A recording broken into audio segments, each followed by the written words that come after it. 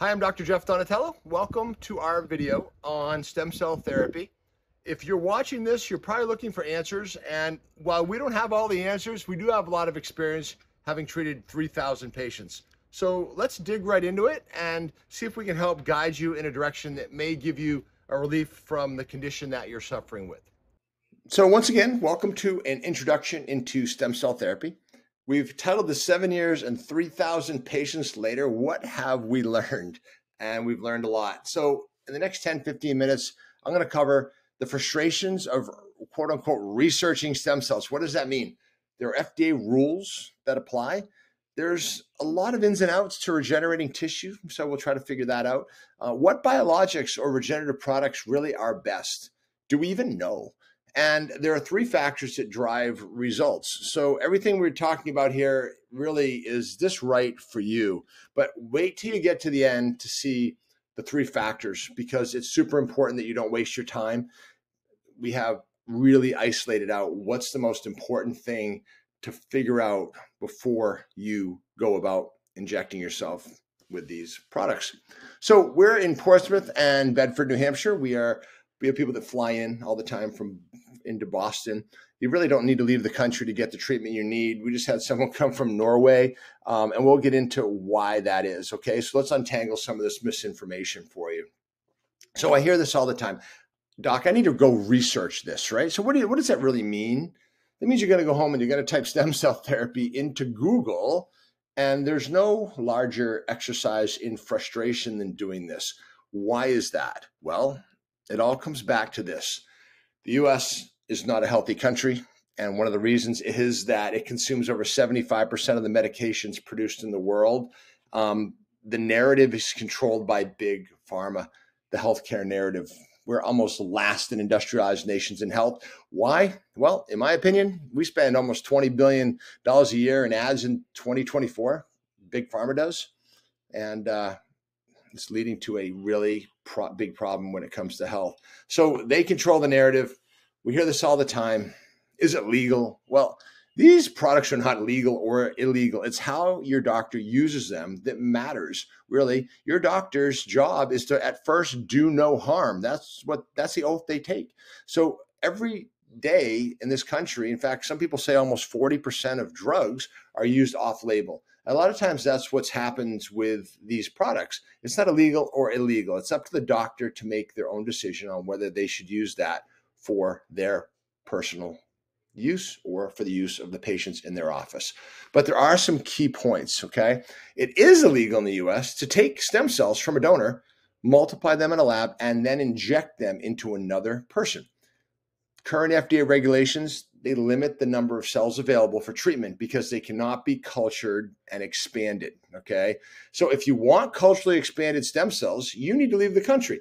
The question is, do you need them? Now, maybe years ago you did, right? But I don't think so. Not anymore. Not at least if you have an ache and pain or from osteoarthritis, or if you have a chronic soft tissue injury, you don't need them. I mean, half the NFL is using these products now, the National Football League. It's being used heavily in the United States. You don't need to leave the country unless you have something crazy going on, some weird disease. But for most musculoskeletal issues, you can stay right here in the US. What do we use? Well, we don't use stem cells, we use human allogeneic allografts. These are human cell and tissue products, HCTP. These come from full term consenting females that are going to give birth or have given birth to C, but through C sections. Um, cord banks show up and they no baby's mom is harmed, and this product is taken out and it's third party tested through FDA regulated labs for disease. And then it's put brought back to the labs, and each lab does their own work with it.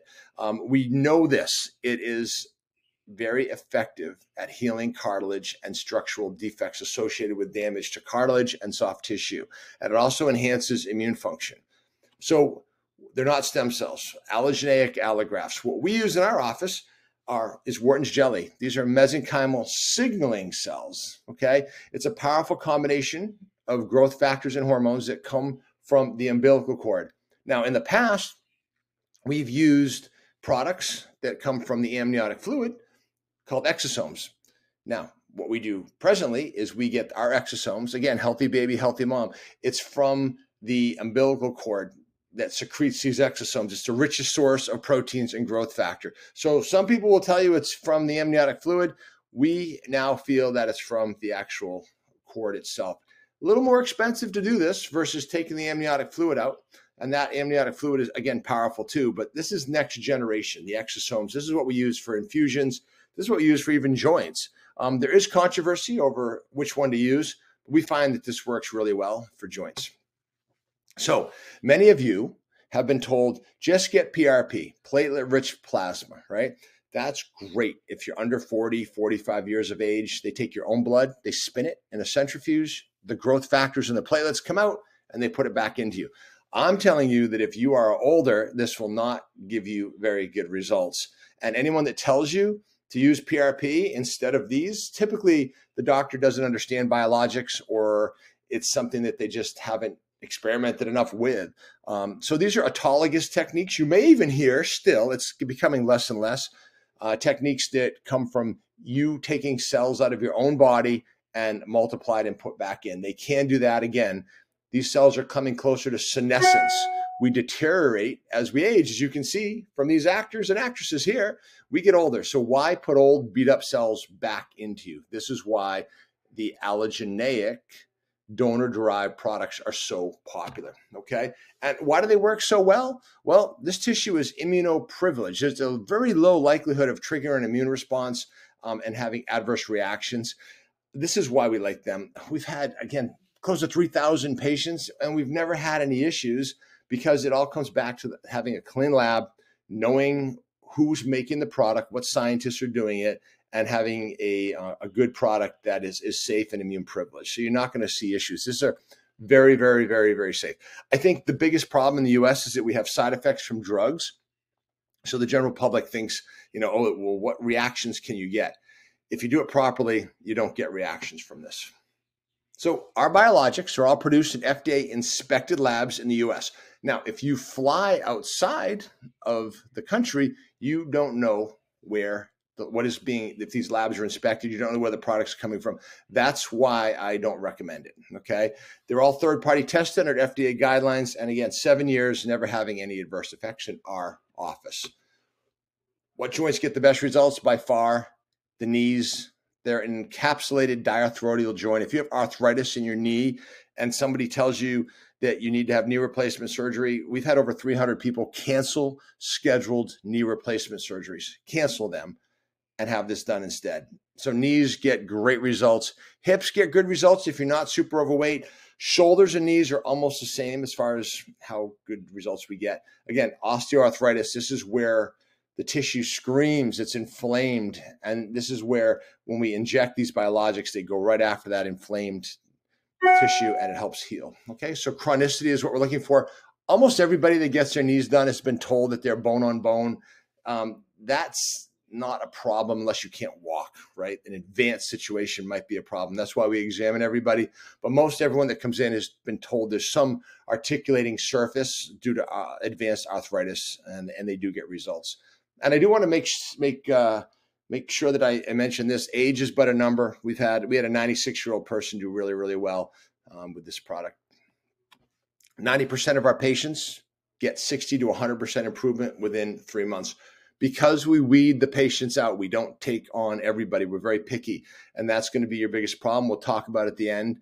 We want to make sure we take on the right patients before we take you in. Okay. So the back and neck, very, very, very important. Make sure this is why I have a big warning sign. Do not let anybody inject your back and neck unless they're using guided imagery, C arm technology, real time images. Make sure your doctor uses guided imagery make sure they're at least using ultrasound. Okay. But if they're doing your back and neck, they better have a C arm. Um, who's injecting you, right? This is very important. We have Dr. Joshua Greenspan. He's a medical doctor, pain management specialist, 30 years of experience. I tried to nail down how many people he's helped, probably 10,000, he said. Um, but the skill of the needle is everything. And believe it or not, the vast majority of places in this country, some of the most popular places, they don't spend the time to teach their nurse practitioners or medical doctors how to use guided imagery and they just inject and pray. And you don't want to do that. So the big question is it safe? We covered that. It's safer than just about anything else you can use. How long does it take to see results? Um, very interesting. About 10 to 20% of people will see results right off the bat very quickly. And we think that's because the fluid is probably taking up space where um, there's maybe a cushion effect. That's not from regeneration. But if they do see effect in effect quickly, we know we're in the right spot. The reality is this in about six to eight weeks, most people are going to start to see a major change. We've had many people oh, it's, it's kind of crazy. Three, four months in, not see results, and all of a sudden, month five, six, see results. Uh, but the reality is this: is that most people are going to get 60 to 100 percent better. How many treatments? One and done for many people. Um, some people choose to come back and get a different body part treated. That's pretty common. They'll have a knee done and then they'll get their shoulder done. Um, how long does it last?